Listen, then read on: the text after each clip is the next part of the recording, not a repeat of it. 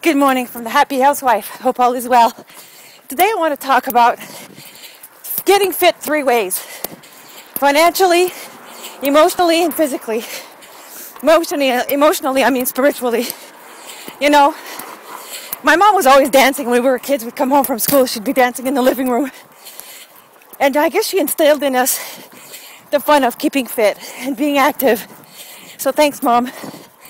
Having said that, I think the importance is having the balance of those three ways of getting fit. In my early 20s, I was fit like in, my gosh, but I was lacking the balance financially and spiritually. So I did feel empty. I did I didn't feel like I was balanced. Getting older, I'm realizing how important these three come together. Once I started focusing on my spirituality, I started taking responsibility for certain action in my life, realizing that I had to balance this in three ways. The more I was spiritually happy with myself, the more confident I became. I met the right people. Emotionally, it was feeling great. Physically, I wanted to be better, not to look good, but to feel good. So I stopped going to the gym 24 hours a day, minimized my working out, but kept in shape on a balanced level. Financially, well, it was a blessing because I realized that there too I was lacking responsibility.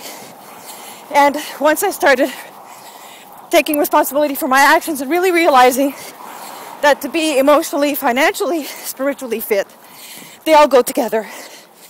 Believe me, lazy ladies, you can't agree, or you can agree, that when we have a few extra pounds on us, we don't feel good.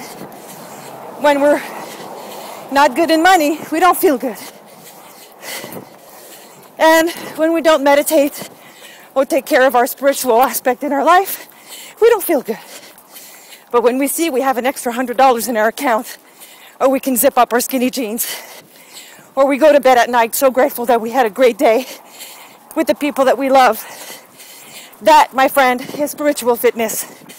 So, my suggestion to you I'm running today because I ate about 16 pounds of chocolate yesterday. So, it's kind of important that I get physically balanced today. On that note, ladies, just a suggestion to maybe sit down and reflect a little bit on if you're lacking balance somewhere in your life. That maybe that's just something you need to work on a little bit.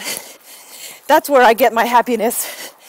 I feel balanced spiritually, physically, and emotionally. And that's my job to work on every day.